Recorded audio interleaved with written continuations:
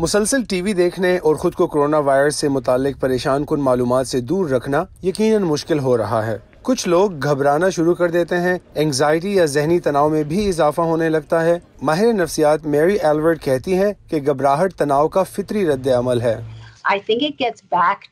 بطور انسان ہمیں ایسا کیا لگتا ہے جس سے یہ ہماری بقا کے لیے ضروری ہے۔ لہٰذا پانی اسٹور سے ختم ہو جاتا ہے۔ حالانکہ ہمارے پاس پانی کی کمی نہیں ہے۔ ہمیں پانی کے پانچ کریٹس کی ضرورت نہیں ہے۔ اور اب تو اسٹورز نے بھی صرف ایک یا دو کریٹس کی لمٹ رکھ دی ہے۔ ماہرین نفسیات کہتے ہیں کہ آپ کی خبر کا ذریعہ کیا ہے اس بارے میں بھی ہوشیار رہنا انتہائی ضروری ہے کیونکہ غلط یا جھوٹی معلومات پریشانی میں اضافہ ہی کرتی ہے۔ دوسری جانب اب موقع ہے کہ پرانے دوستوں سے رابطے بحال کیے جائیں۔ اب ایک موقع ہے آپ زیادہ تر گھر میں ہوتے ہیں۔ آپ رشتے داروں یا دوستوں سے رابطہ کر سکتے ہیں جن کے ساتھ آپ نے طویل عرصے سے بات نہیں کی۔ ہر بحران کے ساتھ مواقع موجود ہیں۔ ماہر نفسیات وائلی رائٹ کا کہنا ہے کہ زندگی معمول کے مطابق جاری رکھنا بھی تناؤ میں کمی لانے کے لیے مؤثر ثابت ہوتا ہے۔ نظم و ضبط کے ساتھ دن بھر کی سرگرمیاں جاری رکھنے سے بھی یہ احساس ملتا ہے کہ حالات آپ کے قابو سے باہر نہیں۔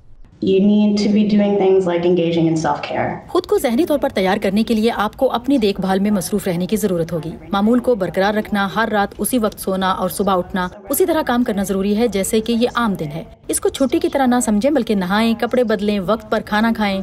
ماہر نفسیات ارینا میلکسٹیان کہتی ہیں کہ انسان اپنی نفسیاتی حالت کے مطابق ہی بحران کا سامنا کرتا ہے۔ ان لوگوں کے لیے مشکل ہوگا جو پہلے ہی ذہنی دباؤ کا شکار ہیں۔ وہ خاص طور پر الگ تھلگ محسوس کرتے ہیں کیونکہ وہ ان لوگوں سے مل نہیں سکتے جن پر انحصار کرنے کی انہیں عادت ہے۔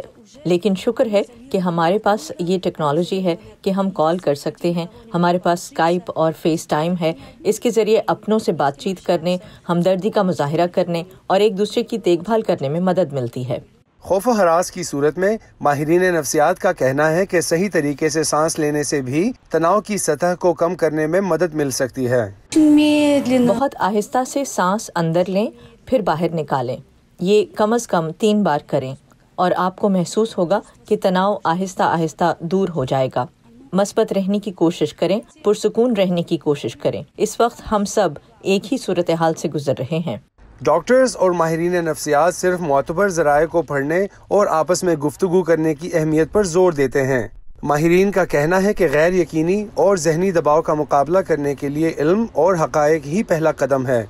میکسم ماسکالکوف کے ساتھ Imran Jadoon voice of America